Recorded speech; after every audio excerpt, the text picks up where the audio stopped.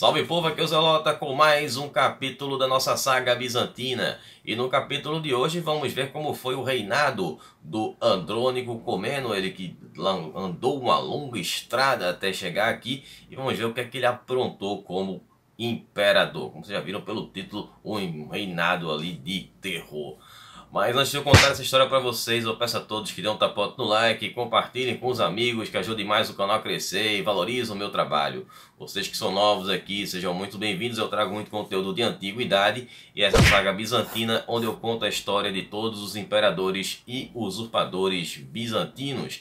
Portanto, recomendo que vocês assistam aos vídeos anteriores ou, se vocês preferirem, assistam a qualquer um dos outros vídeos que estão na videoteca do Zelota, ali dividido em várias sagas e mini sagas nas playlists. Me sigam também no Instagram, Zelota, para vocês ficarem sabendo das novidades do canal, participarem das enquetes para escolher os especiais e assistir ao quadro do Curta com o Zelota, que é um conteúdo extra que eu faço lá no IGTV. Vídeos todas as quartas às 20 horas com os especiais e nos sábados às 17 horas com a saga bizantina.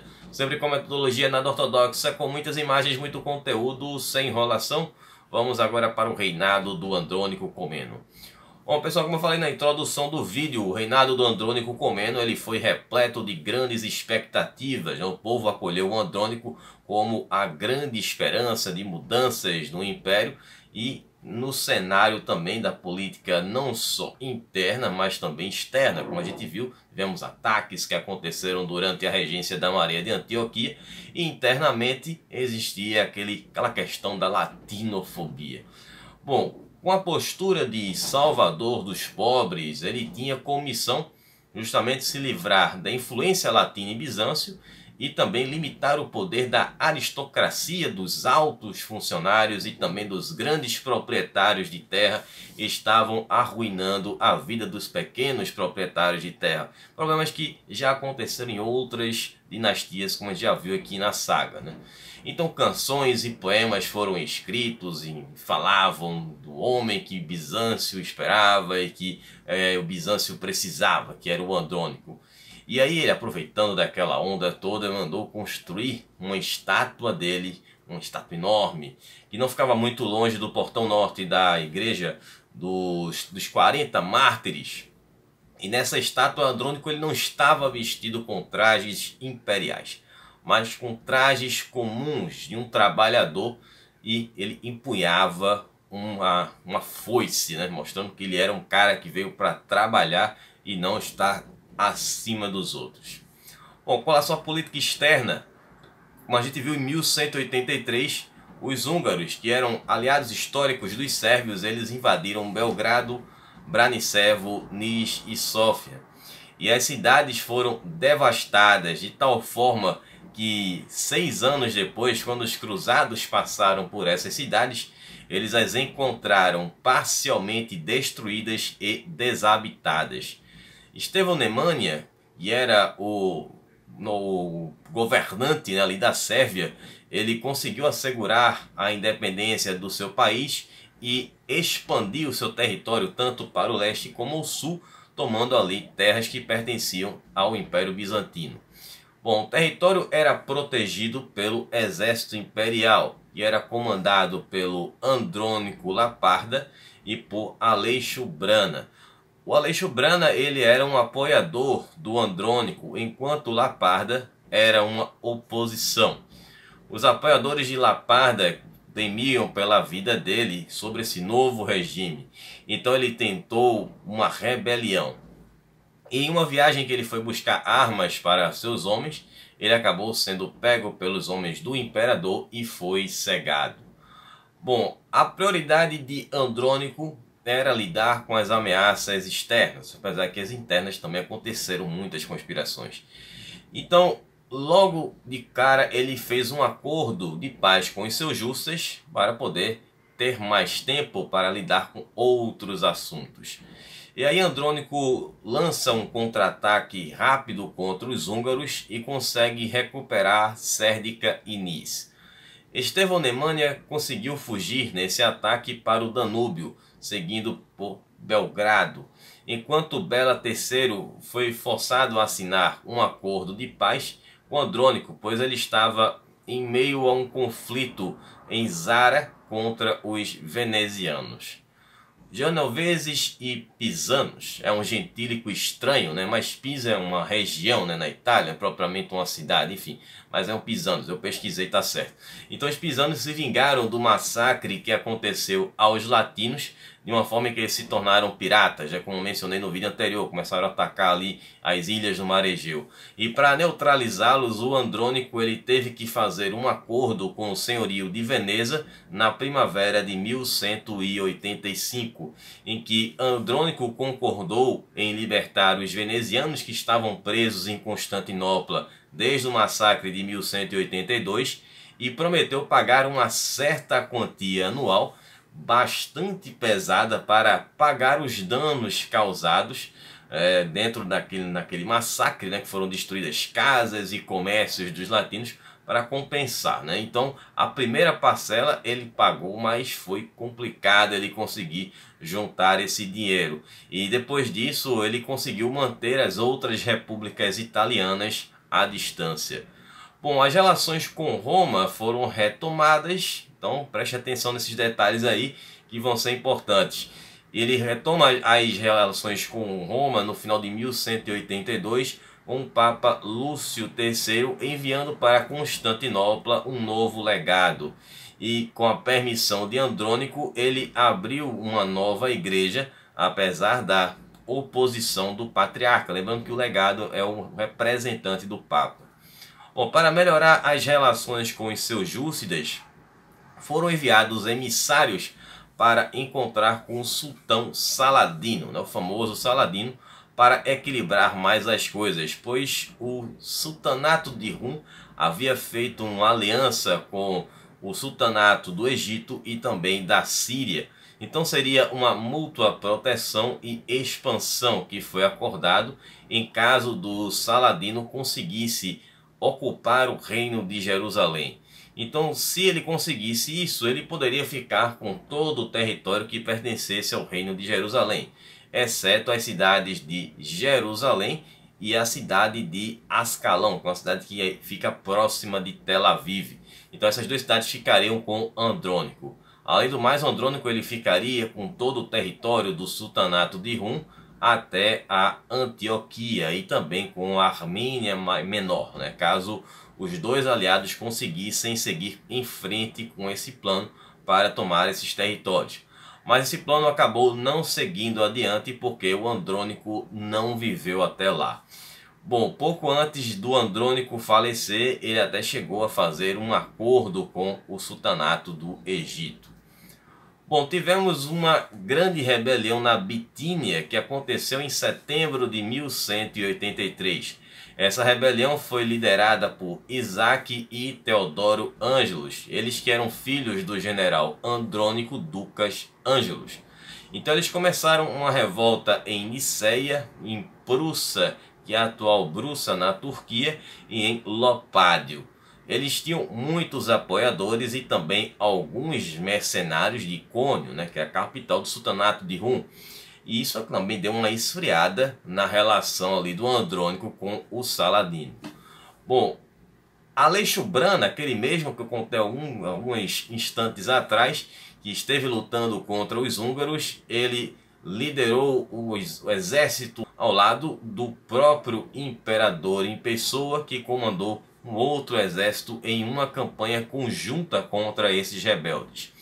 Bom, Niceia foi defendida por um rebelde chamado Teodoro Catacuzeno, não o Teodoro irmão do, do Isaac, e o Isaac Ângelo, que eles conseguiram resistir aos ataques das máquinas do cerco imperial. Até que o Andrônico resolveu apelar e jogar sujo, como ele gostava de fazer. Né? Então ele mandou buscar em Constantinopla Eufrosine, que era a mãe de Isaac, e a colocou em cima do seu maior ariete, para que os rebeldes não destruíssem esse ariete. Mesmo assim, Isaac, com a sua pontaria aguçada, conseguiu ainda resgatar a mãe, e já o Teodoro, que deixou os muros para tentar enfrentar o imperador, acabou perdendo a vida deixando para o Isaac Ângelo resolver a negociação sozinho. essa negociação de rendição. Então, com medo de passar fome dentro daquele cerco, o arcebispo de Niceia, que chamava-se Nicolá, ele liderou uma comitiva com mulheres e crianças para pedir misericórdia ao imperador. Ao entrar na cidade, o Andrônico condenou muitos rebeldes ao exílio e também executou outros. Andrônico depois partiu para a Prússia, onde lá estava sendo comandada pelo jovem Teodoro Ângelo, que era o irmão mais novo do Isaac. E aí defendeu bravamente a cidade, assim como o irmão dele, em Niceia, mas a cidade também acabou caindo diante do imperador. E quando ela foi tomada, foi saqueada, enquanto o jovem Teodoro foi cegado. Depois, Andrônico foi para Lopádio, onde lá também conseguiu uma outra vitória, e os nobres que lideravam essa rebel os rebeldes, que eram o Leão Sinécio e o Manuel Lacana, foram empalados com mais outros 40 rebeldes. Bom, com relação à política interna, o Andrônico ele se posicionou como um, um grande inimigo dos latifundiários que expandiam seu poder em Constantinopla com um sistema que estava cada vez mais próximo ao feudalismo do Ocidente e o que minava o poder absoluto do imperador. Andrônico criou um sistema, um programa para impedir a expansão da nobreza e poder restaurar a administração central do imperador, como funcionava lá atrás na dinastia macedônica. Bom, sem conhecer outro método que não fosse da violência brutal, Andrônico teve um reinado marcado pelo terror por conspirações e atrocidades. Até os seus detratores reconhecem que os métodos dele, mesmo sendo violentos e inadequados, levaram a uma melhoria rápida e perceptível nas províncias do império. Com a mão de ferro, ele acabou com a corrupção na administração, que era um mal que parecia incurável. O Andrônico disse: parem com a corrupção ou parem de viver. Então, as vendas de cargo público foram encerradas, ele nomeou pessoas honradas e corruptíveis como juízes, os funcionários eram escolhidos por suas habilidades e eram bem remunerados para ficarem menos inclinados ao suborno. A prática mais comum dos corruptos era a cobrança de altos impostos, às vezes na base da chantagem, e essa prática foi encerrada com esses corruptos sendo punidos com severas penalidades. Já dá para imaginar. Bom, alguns dos produtores de terra foram executados, os grandes produtores, dando mais paz e espaço para os produtores menores das províncias respirarem e poderem produzir Andrônico ele criou uma segurança jurídica contra os abusos da administração. Ele conseguiu aumentar a receita do tesouro e também encarou as dificuldades que aconteceram durante o seu breve reinado. Ele acabou com os saques de navios naufragados no território bizantino e que era um hábito comum que foi combatido pelos seus antecessores, mas não conseguiram resolver. Geralmente o que eles faziam era pegar os, aqueles caras que saqueavam os navios e os amarravam nos mastros mais altos desses navios que haviam naufragado. Bom, o Andrônico ele não tinha boa relação nem com a nobreza e nas das províncias, como também com a própria família dele. Né? Seus parentes o odiavam pelo seu estilo autocrata e também pela posição que ele estava ocupando como imperador. Ele tinha um pequeno círculo de pessoas próximas de confiança, mas mesmo assim ele ainda tentou criar um partido para o proletariado, mostrando as vantagens de sua administração justa. Ele também tentou melhorar a vida dos mais pobres, ordenando a construção de um sistema de água, não instalando uma nova condução de água para Constantinopla.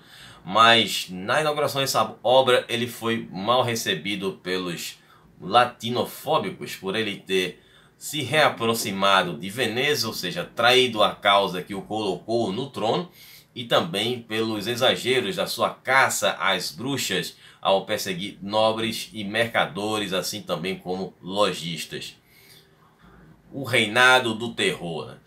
O Andrônico ele teve aquele distanciamento com a família e aquela caça aos nobres. Então aquilo levou ele a uma paranoia que se tornou realmente patológica. Então ele começou a atacar inimigos reais e também inimigos imaginários, levando uma série de tentativas de golpes contra o seu reinado e deixaram o Andrônico mais violento e mais brutal. Então ele respondia violência com mais violência se posicionando como a justiça em pessoa, o imperador só aumentava a sua galeria de inimigos. A desconfiança e violência deixaram literalmente perturbado e descontrolado. Vendo traições e conspirações por todos os lados, Andrônico não conseguia mais distinguir culpados de inocentes. Qualquer pessoa suspeita deveria temer por sua vida e pela sua família. Era raro não ter uma semana em Constantinopla sem prisões arbitrárias, condenações injustas ou execuções cruéis, o que iniciou uma onda de ódio e descontentamento contra o imperador. Andrônico tentou reverter a situação com a aristocracia que sempre apoiou o Estado e também existia a aristocracia militar e precisava do exército. Então eliminar a aristocracia com aquelas várias execuções que ele andava fazendo, fez com que Andrônico aos poucos fosse perdendo o apoio do exército. Ele passava todo o tempo acompanhado por um guarda-costa bárbaro e também em, vivendo ali em palácios de verão fora da capital, cercado de prostitutas, músicos e concubinas. Seu apoio popular se esvaiu o povo que antes o aclamava, agora o considerava um traidor, o homem que não cumpriu com a sua palavra, o seu compromisso, e eles agora queriam um outro homem no trono. Bom, espero que vocês tenham gostado, que vocês tenham entendido. Estarei retornando no próximo sábado com a última parte da história do Andrônico Comeno. Vamos ver a rebelião no Chipre e a invasão normanda e, por fim, como terminou o reinado do Andrônico e como ele também terminou. Né? Então vamos saber o fim do Império e o fim do próprio Andrônico. Na segunda estarei postando o curta com o Zelota, fazendo mais comentários a respeito do Andrônico. Bom, na quarta-feira teremos o nosso especial de 3.500 inscritos a enquete já está aí no ar na aba comunidade. Para quem não votou ainda, vota aí que tem até a segunda-feira para vocês votarem. Beleza? Com duas civilizações aí, dois povos bárbaros, um que saiu do Oriente e foi para o Ocidente, e outro que fez o caminho inverso, que saiu do Ocidente e foi para o Oriente. Então, dá uma conferida aí entre os alanos e os ostrogodos. Eu vou ficar por aqui. Um abraço do Zelota. Até quarta. Falou, pessoal.